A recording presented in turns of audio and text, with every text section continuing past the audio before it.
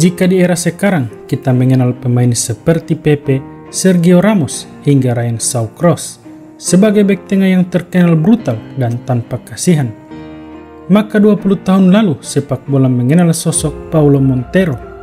Serupa tapi tak sama, dia adalah bek tengah paling ditakuti di dunia.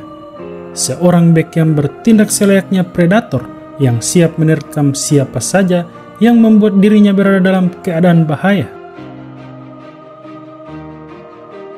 Dia dijuluki monster lini belakang yang membuat para lawan takut ketika berhadapan dengannya.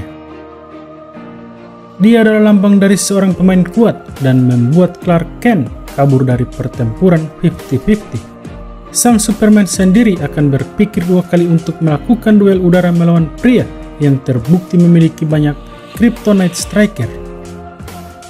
Tentu saja itu hanya candaan tapi fakta di lapangan menunjukkan Montero adalah sosok yang paling ditakuti pemain depan lawan. Torehan 16 kartu merah menjadi yang paling banyak daripada pemain lain di kompetisi papan atas Italia.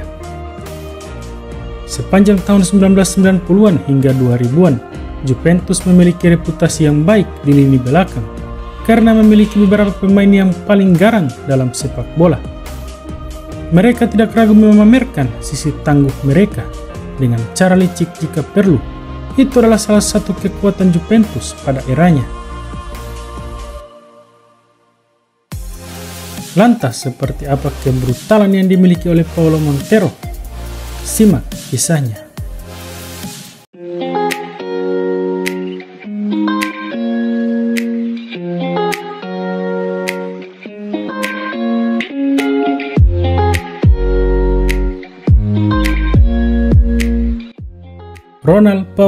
Montero Iglesias alias Paulo Montero dibesarkan oleh kedua orang tuanya di Montevideo, Uruguay 48 tahun silam dengan didikan yang keras. Mengetahui Paulo Montero sudah mencintai sepak bola sejak kecil, sang ayah pun mengharuskannya untuk selalu dapat nilai bagus di sekolah. Jika tidak, maka Montero bakal dihukum dengan tidak diperbolehkan menghadiri latihan sepak bola bersama teman-temannya. Didikan keras dari sang ayah rupanya merasuk dalam sukma Montero untuk menjadi seorang bek yang sangat tangguh. Memulai karir di Penarol Uruguay, Montero akhirnya mendapat kesempatan untuk terbang ke Italia demi melanjutkan kiprah sepak bolanya. Di Italia, Montero langsung bergabung dengan Atalanta yang memberinya banyak cerita. Sempat terdegradasi, Montero dengan kekuatannya sanggup menjadikan lini pertahanan Atalanta jadi salah satu yang terkuat hingga akhirnya bisa promosi kembali. Kepincu dengan performa Montero bersama tim papan tengah Serie A Italia kala itu, Montero pun direkrut pada tahun 1996 oleh raksasa Serie A, Juventus. Kisah Paulo Montero, sang legenda klub kebanggaan kota Turin, dengan rekor abadinya di Serie A Italia pun dimulai.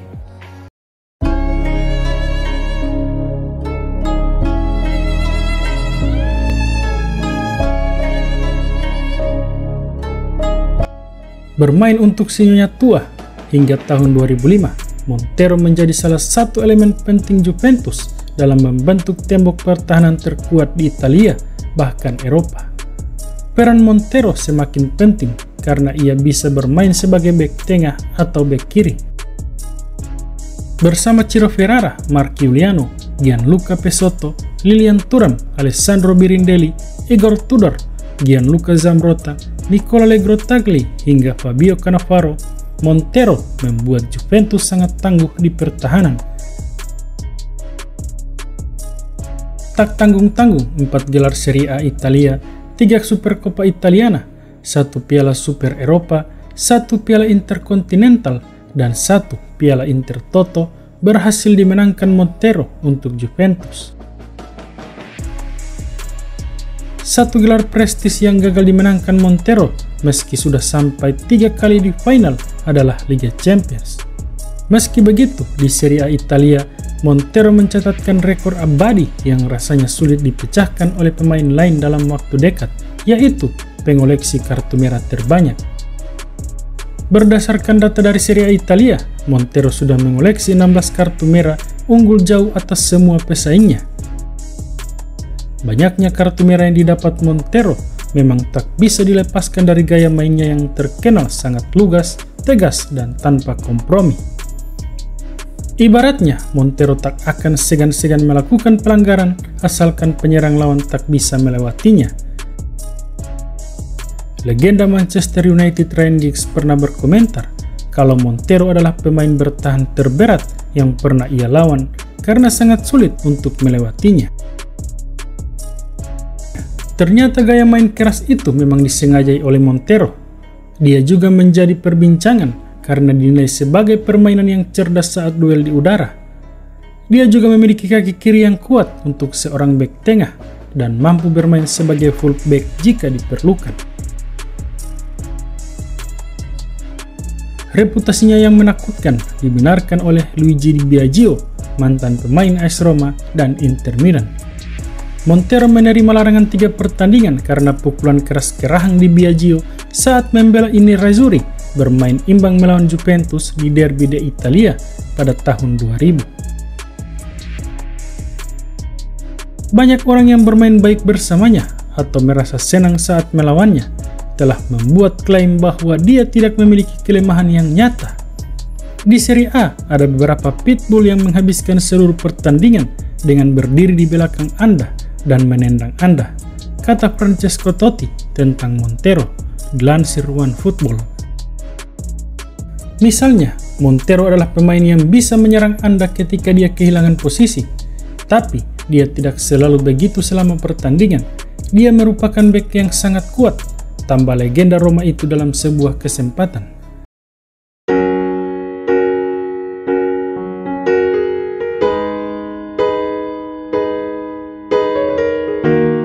Kadang sifatnya yang berapi-api tumpak keluar lapangan karena dia pernah diduga membuat seorang paparazi yang mengambil terlalu banyak foto rekan setim lamanya di Juventus, Angelo Di Divio namun, apa yang membuat pria berjuluk Determinator itu sangat disayangi oleh para penggemar di Turing? Itu karena sang pemain selalu bersedia memberikan apa yang mereka dambakan, kemenangan dengan segala cara, pantang menyerah, dan bersedia melakukan pekerjaan yang kotor.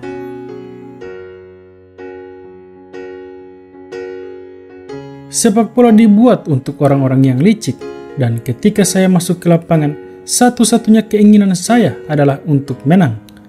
Saya tidak berpikir untuk menjadi panutan bagi putra-putra saya atau orang-orang yang memperhatikan saya.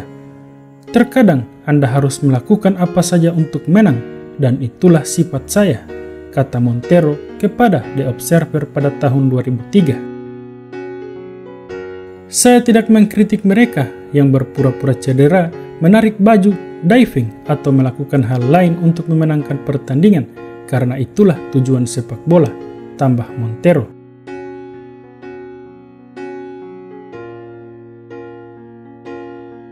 Dan justru itulah yang membuat begitu dicintai hingga hari ini di Turin. Di Juventus, kemenangan akan selalu menjadi kebutuhan, dan Montero menjadi seorang pemain brutal yang harus dihormati oleh para pendukung Juventus. Brutal tapi disiplin dan tangguh adalah penggambaran sempurna atas karir cemerlang Montero di Juventus sebelum akhirnya bek Uruguay itu memutuskan hengkang. Sempat bermain di Argentina, Montero akhirnya pensiun di Penarol pada 2007 lalu. Setelah pensiun, Paulo Montero rupanya memulai karirnya sebagai pelatih sepak bola.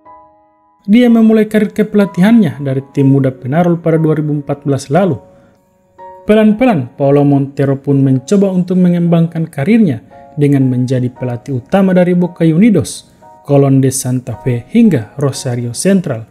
Sayang, tak ada prestasi signifikan dari Paulo Montero saat melatih klub-klub Amerika Latin itu. Hingga akhirnya pada tahun 2019, Paulo Montero memberanikan diri ke Italia dan mengambil pekerjaan untuk melatih klub kasta ketiga Italia, yaitu Sambe Netese. Walau belum menunjukkan hasil signifikan, tetapi gaya Montero yang keras saat bertahan tampaknya menular pada tim yang diasuhnya.